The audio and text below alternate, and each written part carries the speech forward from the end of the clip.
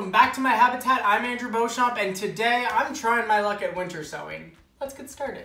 First off, winter sowing is very new to me. We start with a plastic container, just like so. Remove the lid, you don't need it. It helps airflow. It also helps water get in, moisture.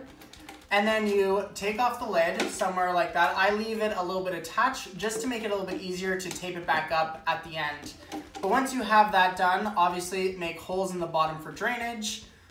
Moist soil goes in, sow your seeds, um, a little bit more water, water those in, and then tape this back on and we place that outside in the cold temperatures. Really kind of a crazy concept to me, but apparently it works really, really well and you get really strong seedlings that are already hardened off. This is a great little hack if you're somebody like me who doesn't have much growing space inside their home, like I'm working with just that rack behind me, or if you're somebody who just doesn't have the money for the setup because the setup can be quite expensive and it's a quite a uh, large investment, but this is a great method for sowing perennials and some cold hardy annuals.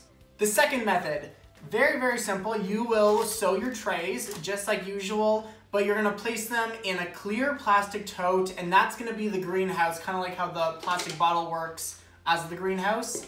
Now, the cons of the tote method, from what I've seen online, of course I haven't tried it yet, is the fact that it doesn't stay as warm, you can get ventilation issues, and watering issues are a bit more of an issue because I already know that there's not, gonna, I'm not making a hole over each one of these um, little cells for water to get into. I'm gonna have to open up the lid, water them individually throughout the next few months. Another good note to think about though is that these aren't producing big giant plants. These are gonna provide you with very strong seedlings. So a smaller plant that's much more hardier that you don't have to worry about hardening them off to the sun, to the weather, to the cold, whatever it may be in your zone or at that time that you plant your plants. But with that being said, let's take a look at the plants we're gonna be planting today. Start with the ones that I'm putting inside the jugs. I'm gonna have two jugs of Gaillardia. Beautiful, beautiful flower. I'm planning on putting quite a bit of this into my front yard garden for some really nice color. I love Gaillardia. And then I'll be doing one bottle of Geum Red Dragon. Love this plant. I have never personally grown it. My mother had it in her garden at one point. The flowers that I'll be planting inside the tote. Now these are a little bit more cold tolerant, uh, meaning they can go down to lower zones where the Gaillardia and the Geum can ha don't handle the cold as well. The first one we're going to be planting is the Columbine Leprechaun Gold. Beautiful plant, beautiful flowers, and it's got variegated foliage, which just makes my heart beat really fast.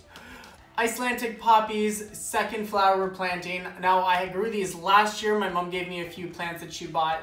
Absolutely stunning.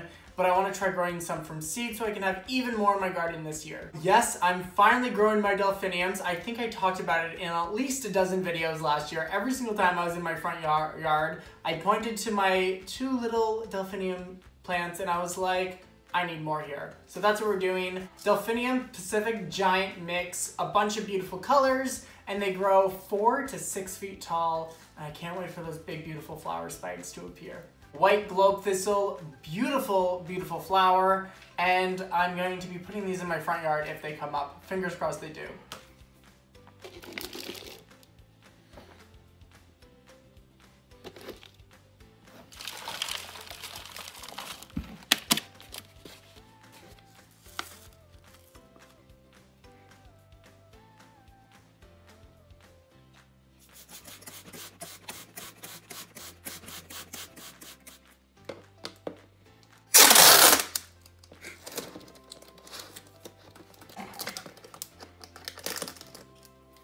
There we go, first one done. How do you feel? Exhilarated. If this works, I'm honestly so excited.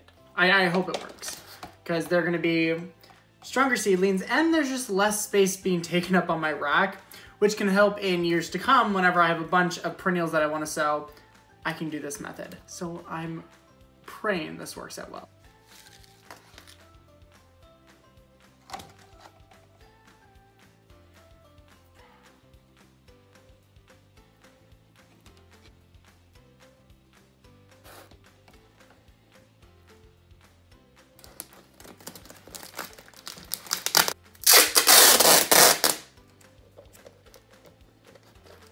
The two Gaillardia and then the one geum are all done. Let's get on to the rest.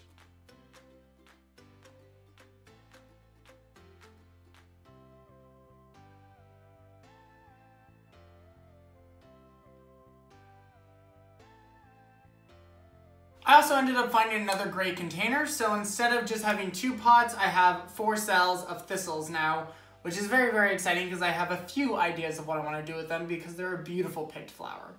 It's important to have a clear plastic lid and just a clear plastic container in general, just so the light can get in there. This already has drainage holes at the bottom because I used this to grow lettuce a few years ago. Now, what I have to do is collect all these beautiful things and bring them outside. I'll show you where they ended up.